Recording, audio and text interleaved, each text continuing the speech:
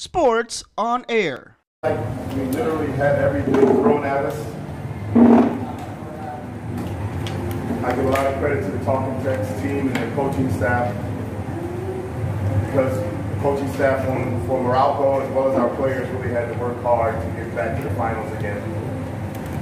So I give them a lot of credit. At the same time, I like to thank my players because when you were down two games to one and you had to win both games to make it back to the finals and everybody focused in and stayed positive and really everybody was very attentive to the game plan and how we needed to execute for us to to make it back to the, the championship round again. And just like it has been the entire conference, our defense is what held up for us.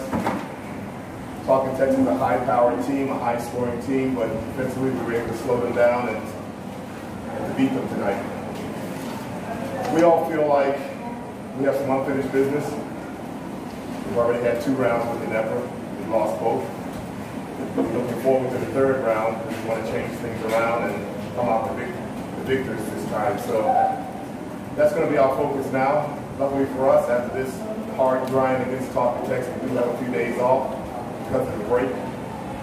But our focus now will be on Ginebra and how we can beat them this, this third time around.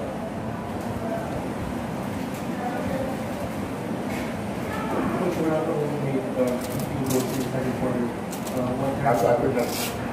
only made, only in the second quarter. How, how, how you to change the?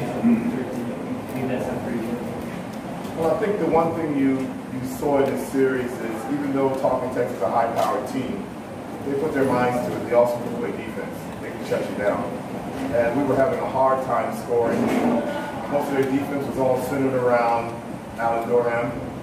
And he wasn't really able to move in the first half, even though he did have 15 points. I don't think he had very many field goals to go over his 15 points. They were mostly coming from the foul line. And what we did in the second half was just to try to open up the floor a little bit, quite honest with you, I was trying to save the second half so that they wouldn't adjust to it in the first half or at halftime. But we moved everything to the middle of the floor. We attacked them on pick and rolls in the middle. We moved guys to the corner whenever um, had posted up to create more space behind him so that we get to the basket.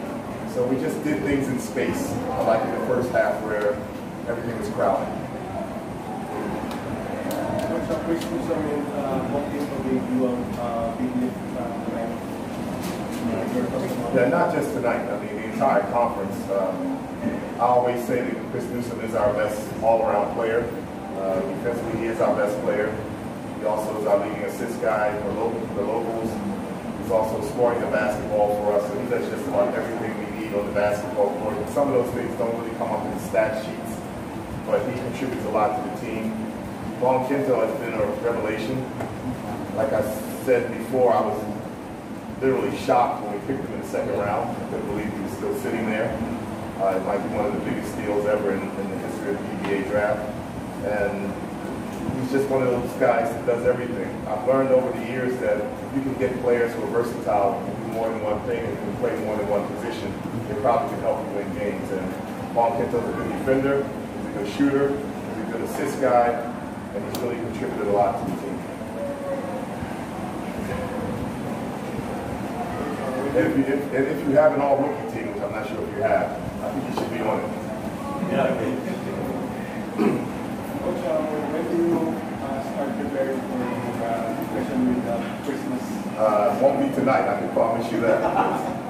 Uh, I have not had much sleep in the last week and a half. As you know, coaches worry a lot, stress a lot about the games, and we also stay up very late watching tape, trying to figure out how we're going to uh, come up with our strategies for the next game. So definitely not tonight, but by tomorrow I'll be back to work. No question. No Christmas. Yeah, Christmas is there. yeah, you're right. It is Christmas. It doesn't seem like it right now, but Christmas is two days from now. So we'll take a couple days off for the players, and I'm, I'm, when I say I'll get back to work, I mean me, me personally. I'll start scouting different efforts team already. Coach, at, Yes. the top, at the top of your head, uh, you have Bong Quinto right now, Almazan, Allein Maliksi, compared to your previous two finals meetings with Yeah. and they only added Pringle. Do you think you have a better chance this time around? Our goal is to win the championship. We have a lot of respect for Ginebra and Tim Cone. You know, Tim is the top coach in the league. Um, but our goal is to win. Simple as that. At this point, it doesn't matter who we're playing against. Our goal to win the championship. We've already lost two, so we only have one goal. Does that answer your question? Not sure if it did.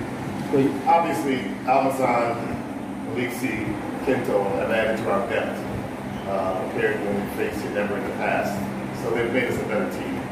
Even though I still feel Allein is still adjusting a little bit to the team.